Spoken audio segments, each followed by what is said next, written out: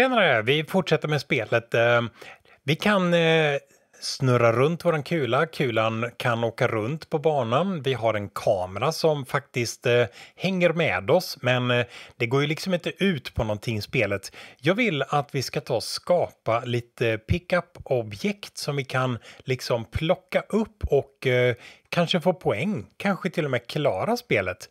Så jag vill göra mig en sån här pickup-objekt. Eh, Pickup-objekterna får bli kuber som, eh, ja, de blir gula kuber säger vi. Så jag gör med ett tredje objekt som jag kallar för kub. Döper den här till pickup, för det är det där som det ska vara. Pickupen landar ner någonstans bakom scenen. Jag tar och flyttar den här äh, pickupen till origo-punkten. Nu landade pickup-objektet precis på samma plats som äh, min spelare är. Och det är kanske inte konstigt eftersom äh, spelaren finns i Origo.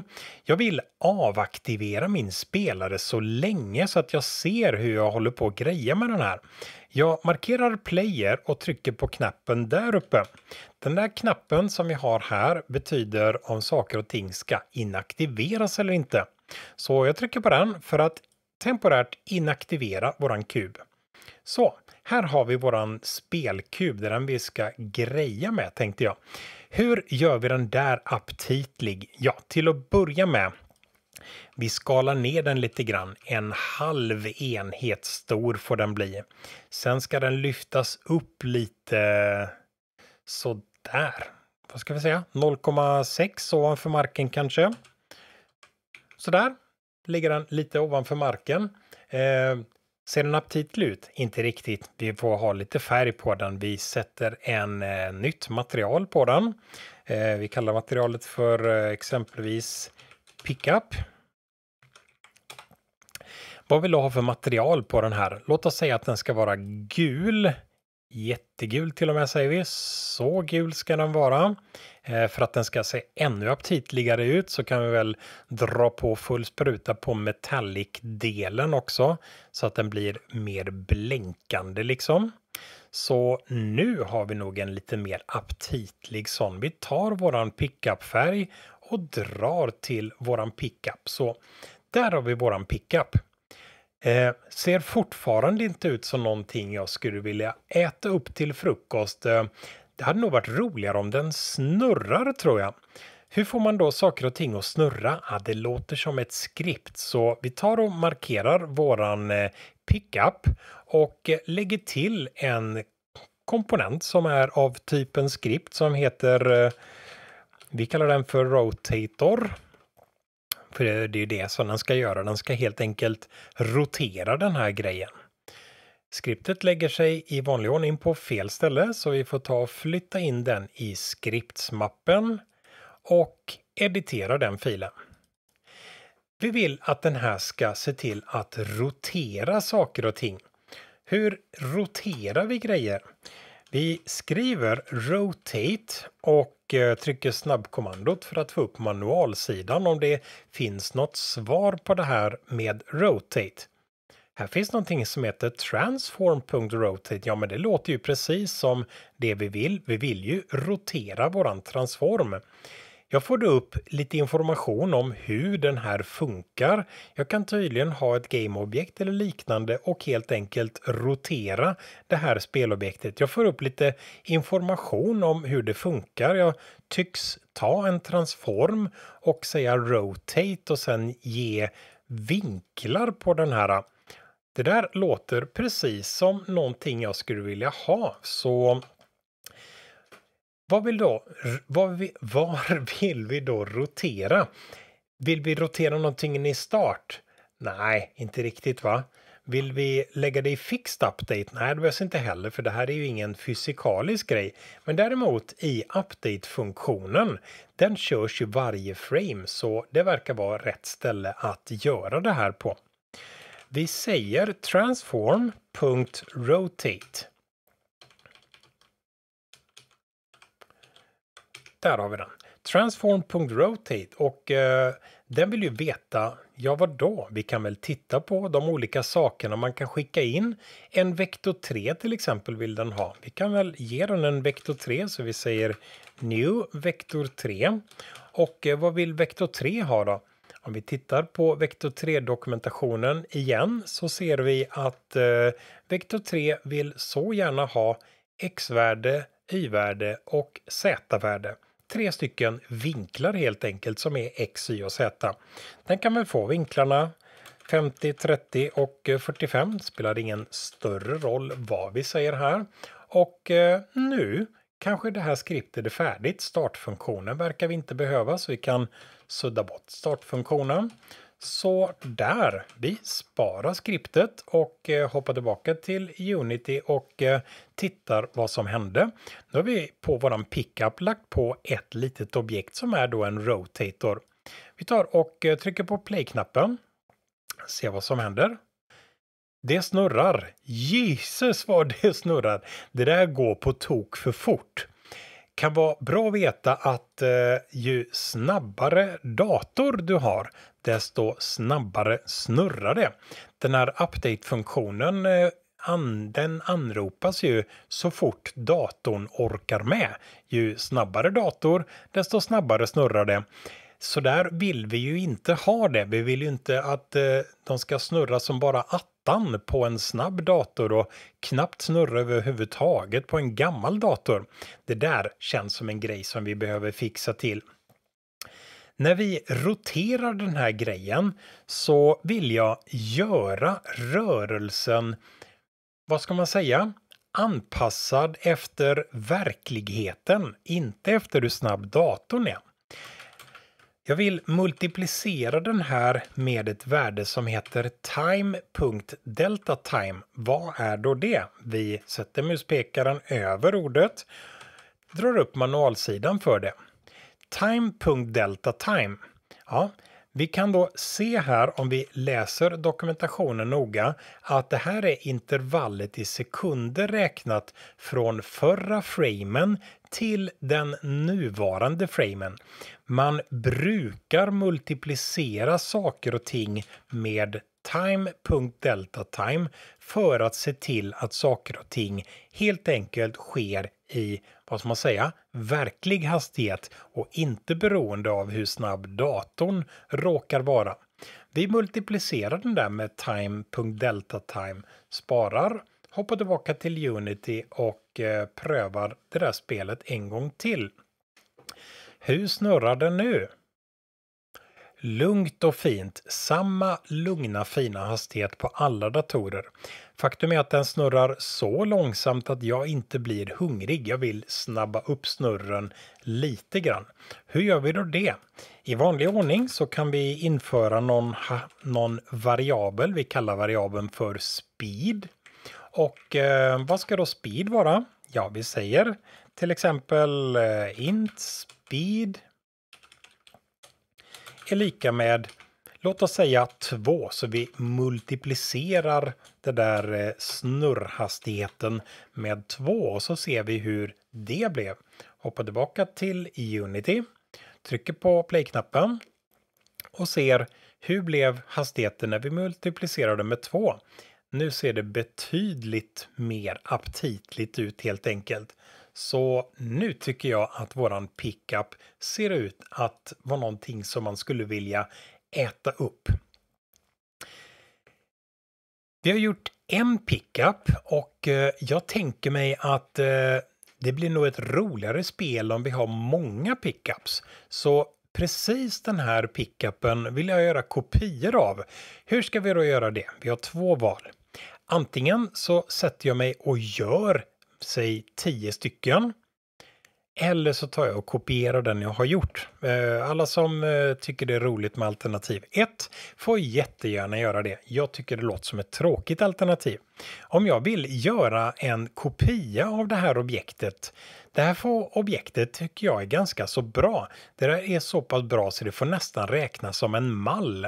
För att göra en mall av ett objekt så tar jag i Assets-mappen gör mig en ny folder, kallar foldern för prefabs. Faktum är att den kan heta något annat också, men prefabs är namnet som man brukar ge på den här. Mitt pickup-objekt drar jag från min hierarchy ner på prefabs och när jag är på prefabs släpper jag den. Vi ser nu uppe i hierarchy att eh, mitt mitt pickupobjekt eh, pickup-objekt fick en blå färg. Vidare ser jag här nere i eh, listan över mina prefabs eller över mina assets och prefabs så fick då mitt pickup-objekt en blå färg. Vidare så kan jag då trycka på pickup-objektet och få upp den precis som vanligt alla prylar här. Jag vill ha flera stycken pickup-objekt. Jag vill ha, säg 10 stycken. Så jag markerar pickup-objektet och trycker på Ctrl D en massa gånger så att vi duplicerar upp det här pickup-objektet. Nu har jag tio stycken pickup-objekt. De ligger allihopa i grunden på hierarkin. Låter inte bra. Jag tar och gör en empty som jag kallar för eh, pickups. Se till att eh, trycka på de tre prickarna och resetten så jag får pickup-grejen att vara i mitten. Nu kan jag markera alla mina pickup-objekt och dra in dem under mappen pickups. Nu kan jag då stänga hela mappen och inte se några pickups eller jag kan dra upp dem och visa alla pickups. Vi har 10 pickups men alla pickups ligger i mitten. Kanske inte så kul. Det vore roligare att liksom smeta ut dem lite grann. Jag vill smeta ut mina pickup-objekt över skärmen. För att göra det så låter det smartast att titta rakt uppifrån. Till det använder jag min gizmo som jag kan titta rakt från sidan eller vart jag nu vill titta. Jag vill titta rakt uppifrån så jag trycker på Y. Här får vi då en bild över hela min spelplan. Den ser ut på det här sättet. Jag kan nu ta och markera första pickupen och dra den till en plats som känns bra helt enkelt. Så vi tar pickup efter pickup och drar pickupen till var någonstans vi vill ha dem. Jag markerar en pickup och eh, i den väljaren jag får fram så kan jag då trycka på den röda ytan för att flytta den i den leden. Men jag vill flytta den på marken så då är det den gröna ytan som jag trycker på. Så jag markerar pryl efter pryl och eh, flyttar mina pickups till den plats där jag vill ha mina pickups. Så där man skulle kunna göra något roligt mönster av det här, men vi tar och placerar dem rakt upp och ner bara. Något sånt här. Där blir mina pickups. Så där, nu ser det bra ut. Jag trycker på höger musen för att återvända till det här. Eh, funkar det här bra nu? Ja, kan jag plocka upp dem? Vi testar så vi sparar spelet, trycker på play-knappen och vi ser...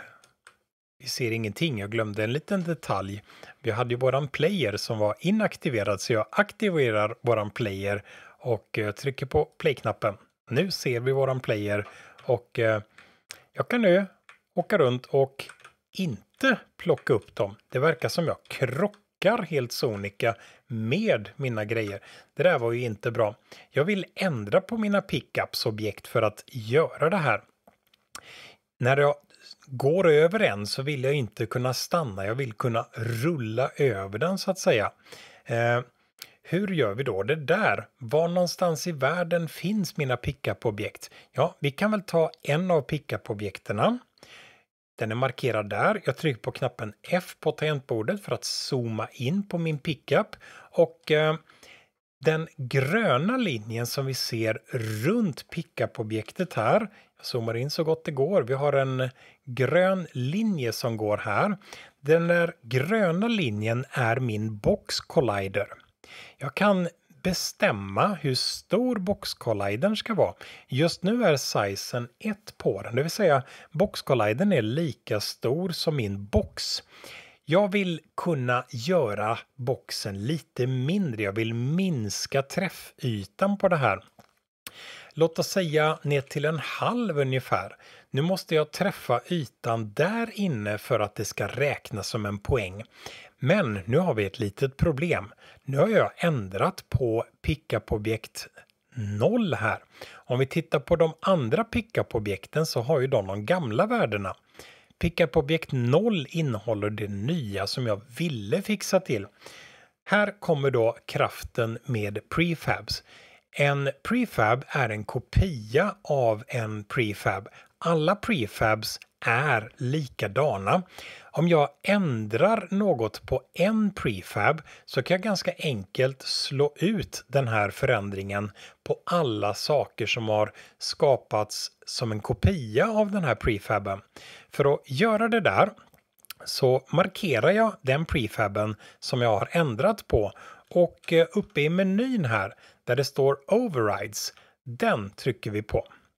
I overrides så finns det vissa saker som man kan göra med pickup-objekt. Exempelvis i det här fallet så är det pickup-objektet som finns i scenen och det jag vill göra det vi ser här att det som är annorlunda med just den här pickupen är boxkolliden. Det är det som har blivit ändrat. Jag kan då antingen trycka på revert för att ångra ändringen av boxkolliden eller ännu bättre, precis det jag vill, trycka på apply all för att låta den här förändringen slå igenom på alla pickup-objekt. Nu har vi ändrat bara på pickup nummer 0 och vi ser att eh, vi har en eh, Eftersom vi ändrat det på nummer 0 så att säga, så har vi då en mindre box här. Om vi tar och kikar på exempelvis pickup-objektet nummer 6 som befinner sig på ett helt annat ställe på spelplanen så har vi även på pickup-objektet nummer 6 den här mindre ramen. Det är det som är kraften bakom eh, sådana här ah, prefabs. Om jag ändrar någonting på en av dem så slår den här ändringen igenom på många utav dem. Så vi har gjort en liten pickup-objekt och eh, det här pickup-objektet roterar och vi har dessutom ändrat lite grann på hur boxen ser ut som eh, hanterar det här pickup-objektet. Jag känner mig nöjd, men eh, det finns nog lite mer vi kan göra på spelet ändå tror jag. Vi stoppar där i alla fall så länge.